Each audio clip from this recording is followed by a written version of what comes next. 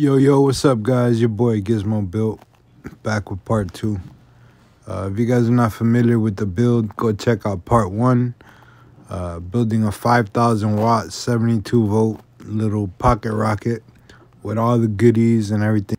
This is an idea that's been in my head for a few months, and I've been actually able to replicate it piece by piece everything in this build has been thought about carefully overthought about.